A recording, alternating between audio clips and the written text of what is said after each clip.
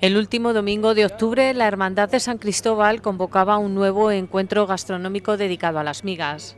Esta es la segunda vez que se realiza esta jornada, aunque se ha cambiado la fecha para hacerla coincidir con el final de la vendimia y asegurarse más posibilidades de tener buen tiempo. El año pasado se había hecho lo mismo, pero en diciembre, cerca de la Navidad. Y luego, después de ver la hermandad, en los pros y los contras, hemos pensado que esta fecha, después de la vendimia y no nos ha venido bien, aparte que el, tiempo siempre parece que mejora este que en Navidad. Y aparte de Navidad, vimos también que aunque vino gente, pues mm, todo el mundo estamos harto de comer. En esas fechas, cuando no estamos de cena, estás de comida, estás de almuerzo.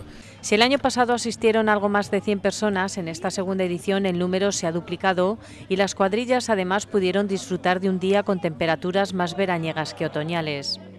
Una jornada muy apropiada para una actividad campera como esta en un lugar muy cercano al centro urbano, además para aprender a elaborar un plato tradicional pero no fácil.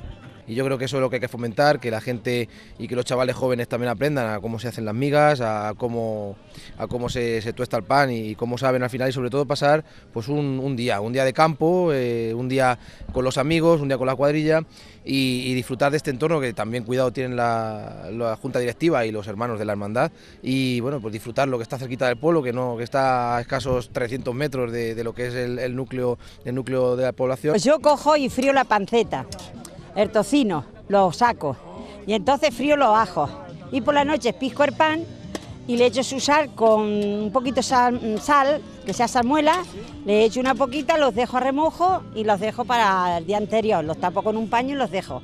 Y luego cuando frío los ajos, echo el pan y ya le vas dando vuelta y después echo los chorizos y la panceta. Ese es el secreto, que cada uno las hace de una manera. Para que salgan esponjosas tienen que estar muy bien mojadas y luego ya a base de muñeca y, cuchara. La hermandad lleva años mejorando el entorno de la ermita para realizar en ella actividades como la propia romería el Día del Santo o el certamen que se realiza en mayo con los escolares de la localidad. El trabajo continuo de los hermanos conductores permite mantener esta zona verde junto a la Reserva Natural de las Lagunas, sobre las que hay una excelente vista.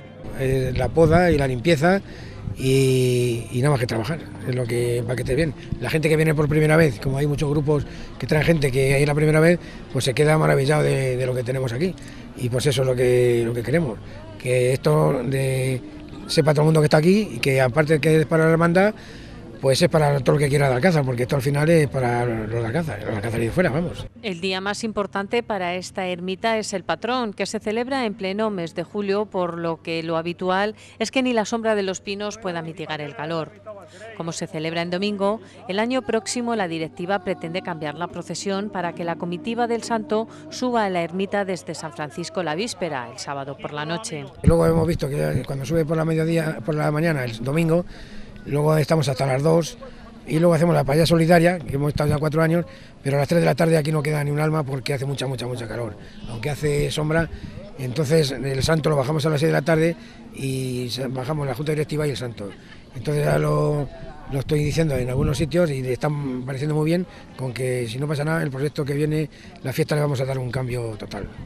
Entre tanto, la hermandad se marca como objetivos, dependiendo de la disponibilidad económica, seguir mejorando el entorno de la ermita, pintando las pérgolas, aumentando el terreno pavimentado y cerrando una barra para bar.